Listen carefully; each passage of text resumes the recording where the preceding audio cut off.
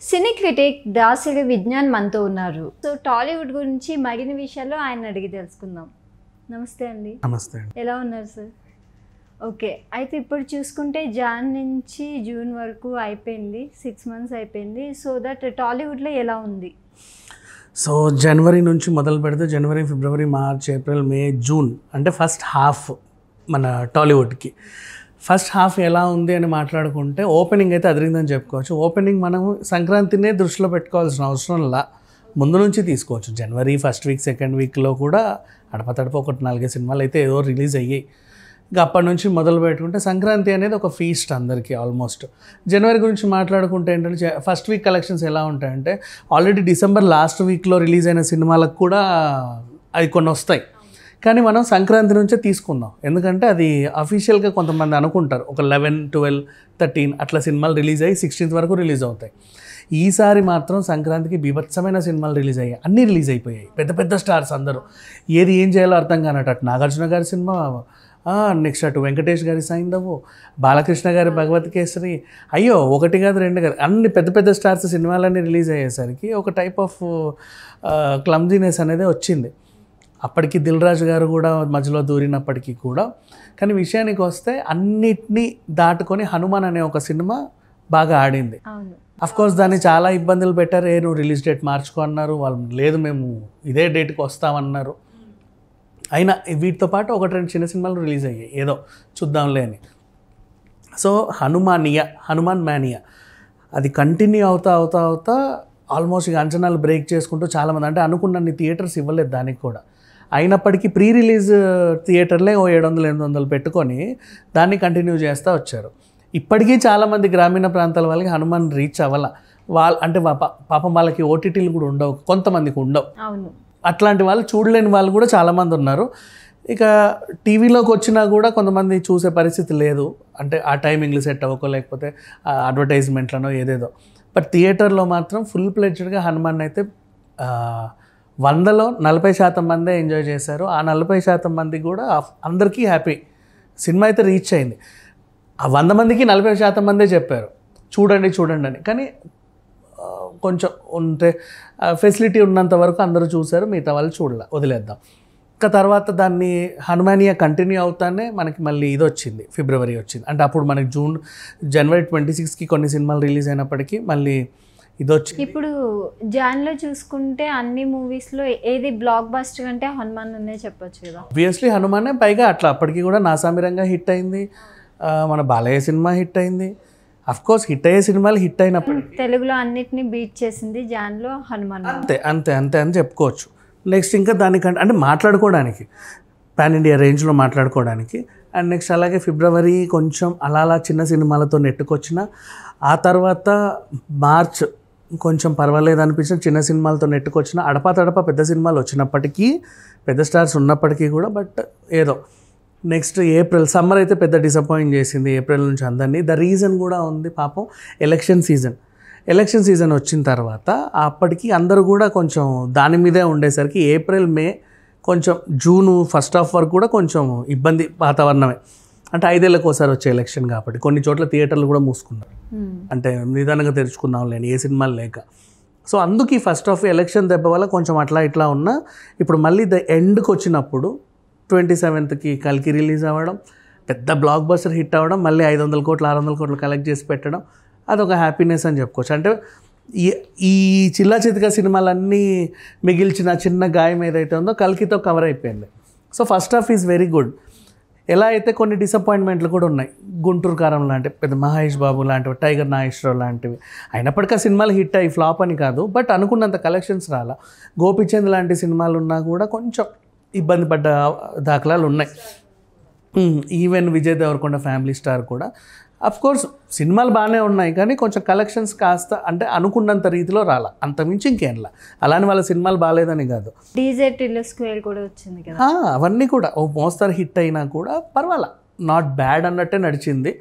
It's okay first half అంటే ఆ election season అనేది లేకపోతే ఈ కల్కి కూడా మనకి ఏప్రిల్లోనే రిలీజ్ అయ్యేది. కల్కి మేనియా కంటిన్యూ అవుతా ఇప్పటికి ఇంకా నాలుగైదు సినిమాలు వచ్చాయి పెద్ద పెద్ద పెద్దవి.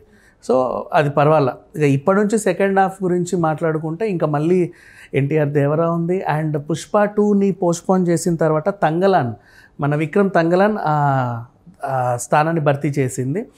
ఇంకా గేమ్ చేంజర్ రావాలి ఇండియన్ టూ రావాలి సూర్య కంగువా రావాలి అయ్యో ఒకటేంటి రెండేంటి బోల్డ్ అన్ని సినిమాలు. ఎక్స్పెక్టేషన్ ఎలా ఉంటుంది అంటారు ఆడియన్స్లో ఉంటుంది ఆడియన్స్కి మంచిగానే ఉంటుంది. ఈవెన్ ప్రభాస్దే ఈ కల్కి మేనియా కంటిన్యూ చేసేలాగానే ఆ రాజా సాబ్ ఉంది ఆన్ ద వేలో సో ఇట్లా చూస్తే ఇప్పుడు టాలీవుడ్లా లేదు ఇది ఇండివుడ్డే అంటే ఇప్పుడు కల్కితో మరొక హిస్టరీ అని చెప్పొచ్చు మన టాలీవుడ్లో.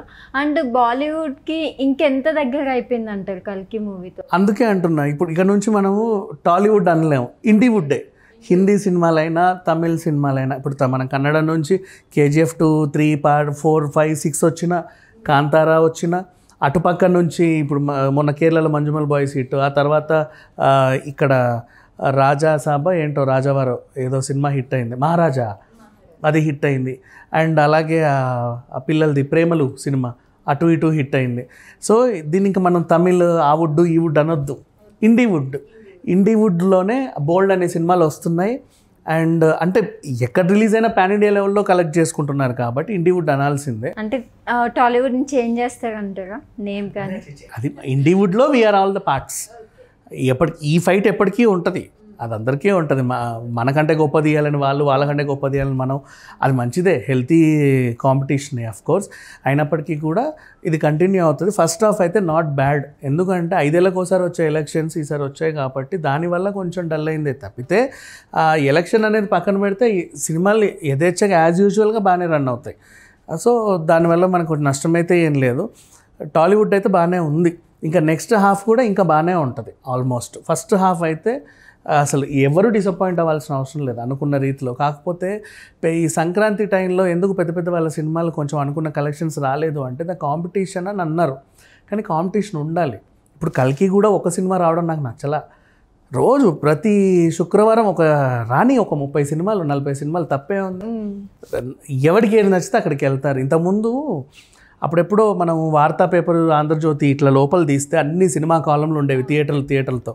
ఎప్పుడు చూడు కనీసం ఒక నలభై నుంచి యాభై సినిమాలు ఉండేవి.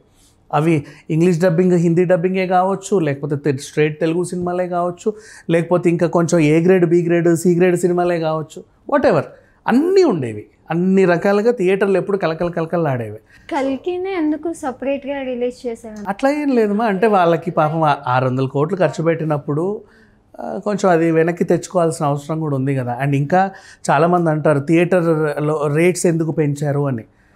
ఇప్పుడు నువ్వు ఒక రెండు కోట్ల సినిమా చూడడానికి థియేటర్కి వెళ్తున్నావు. ఏది? బలగం అనుకో. మంచి సినిమా అనే చెప్పుకుందాం. బలగం సినిమా చూడడానికి వెళ్ళావు. తెర మీద. టికెట్ నీకు వంద రూపాయలు ఉంది. Not bad. అక్కడ నీకు కల్కి ఉంది. కాబట్టి థియేటర్ రేటు ఐదు వందలు ఉంటే తప్పు లేదు. ఎందుకంటే ఇప్పుడు ఒక ఈవెంట్కి వెళ్తావు బయట. జెయింట్ వీల్ క్రాస్ వీల్ ఉండే ఎగ్జిబిషన్స్ ఉంటాయా? చిన్న ఎగ్జిబిషన్కి యాభై రూపాయలు ఇరవై రూపాయలు టికెట్ తీసుకుంటాడు లోపల పెద్ద థీమ్ ఉంటుంది. పెద్ద రాక్షసుడు నోరు పెద్ద టైటానిక్ షిప్ ఏవేవో ఉంటాయి.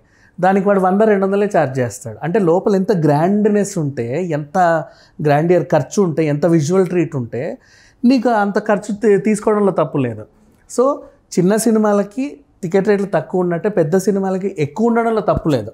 ఎందుకంటే అక్కడ నీకు అంత ఉంది నువ్వు వంద పెట్టినా నీకు అవే ఏడు మొహాలు. కానీ మిడిల్ క్లాస్ వాళ్ళకి చూసుకుంటే అందుబాటులో లేవు. కాస్ట్ చాలా హై ఉంది. మనం ఏం చేయలేమ్మా దానికి. నిజంగా మిడిల్ క్లాస్ వాళ్ళు పై క్లాస్ వాళ్ళని ఏం సి చాలా సింపుల్గా చెప్పుకుంటా. ఇప్పుడు నీకు రియల్ ఎస్టేట్లోనే చూడు. నీకు ఫ్లాట్ ఇక్కడ శ్రీనగర్ కాలనీలో కావాలనుకుంటే ఒక రేట్ ఉంటుంది. ఎక్కడో ఇబ్రాహీంపట్నంలో కావాలంటే ఒక రేట్ ఉంటుంది. అంతే. మిడిల్ క్లాస్ వాళ్ళు ఎఫోర్డ్ చే ఇక్కడ ఎఫోర్డ్ చేయలేని వాళ్ళు అక్కడ ఎఫోర్డ్ చేస్తారు. అంటే ఇక్కడ చూడలేరు అనుకున్న వాళ్ళు ఓటీటీలో చూస్తూ ఉండాలి. అండ్ ఇంకోటి ఇప్పుడు ఇక్కడ కూడా అపార్ట్మెంట్ రేట్లు నలభై వేలు నలభై లక్షలే ఉన్నాయి కదండి. మీరు ఎందుకు కోటి నలభై లక్షలు చెప్తున్నారు అంటే వాటి లోపల ఇంటీరియర్స్ అంత గ్రాండ్గా ఉంటాయి కాబట్టి. నువ్వు ఎంత గ్రాండ్గా పెట్టుకుంటే అంత కాస్ట్లీ ఉంటుంది. అదంతే. లోపల అంత ఉంది. సినిమాలో అంత మ్యాటర్ ఉంది. అంత ఖర్చు పెట్టి తీసి నీకు అంత విజువల్ ట్రీట్ ఇస్తున్నారు. ఈ నిన్ను గత ప్రభు గత జన్మ చూపించాడు నీ వచ్చే జన్మ కూడా చూపించాడు. మరి ఇంకేం కావాలి? సో అందుకని చెప్పేసి ఆ మాత్రం పెట్టాలి. అది ఉండాలి తప్పులేదు దాన్ని ఓకే తప్పలేదంటారు కాస్ట్ పెంచినా నాట్ బ్యాడ్ ఈవెన్ ఫుడ్ కూడా చాలామంది అంటారు కదా థియేటర్స్లో ఫుడ్ రేట్ ఎక్కువ అది ఇది ఎక్కువ అని. ఇప్పుడు మనం ఏం చూసుకోవాలంటే ఇప్పుడు మనం ఇక్కడ కూర్చున్నాం కాసేపు సినిమా చూస్తున్నాం. వాడు ఏదో బర్గర్లో పిజ్జాలో ఏవేవో తింటాడు. తిని ఆ కెచ్చప్లు గిచ్చప్లని ఇక్కడే పడేస్తాడు. అండ్ అది చేతికి అంటింది ఒంటికి రుద్దుకోడు మొహానికి రుద్దుకోడు ఈ కుర్చీలకు రాస్తూ ఉంటాడు. దాని దీనికి కానీ కింద కార్పెట్కి రుద్దుతూ ఉంటాడు. అవన్నీ ఎవడు క్లీన్ చేస్తాడు మా? నీకు నీకు అవన్నీ వాడు ఆ కాస్ట్ అంతా వేసుకొనే నీకు ఆ ఫుడ్ రేటు నూట యాభై పెడతాడు. నువ్వు తినాలనుకుంటే తిను లేకపోతే లేదు. ఆ తర్వాత సంగతి. కానీ నువ్వు తినే ప్రతిదాన్ని అక్కడ అంత నువ్వు తిన్న పాపానికి అక్కడ డబల్ దరిద్రం చేసి వెళ్తున్నావు. ఆ ఎవడు పట్టించుకోడు. అందుకని చెప్పేసి. అదే ఏ మాత్రం తప్పు లేదు. మనం కరెక్ట్గా ఉంటే నిజంగా రేట్లు ఎప్పుడు తగ్గుతాయి తెలుసా? ప్రామిస్ రేట్లు అన్నీ తగ్గుతాయి. ఇప్పుడు నీకు ఫ్రెంచ్ ఫ్రైస్ ట్వంటీ రూపీస్ కూడా ఇస్తాడు వాడు. పాప్కార్న్ టెన్ ఫిఫ్టీన్ రూపీస్ కూడా ఇస్తాడు. నువ్వు కరెక్ట్గా ఉంటాయి మనం కరెక్ట్గా ఉండక వాడిని అంటా ఉంటాం. వాటర్ బాటిల్ కూల్ డ్రింక్లు అన్ని సగం దాగి కింద పడేస్తారు డొర్లు డొర్లుతూ ఉంటాయి కార్పెట్ల పైన. అయినా ఎవడు పట్టించుకోడు. అట్లా ఉంటాయి. మనం కరెక్ట్గా ఉండాలి. సో రేట్లు అనేవి అంతే.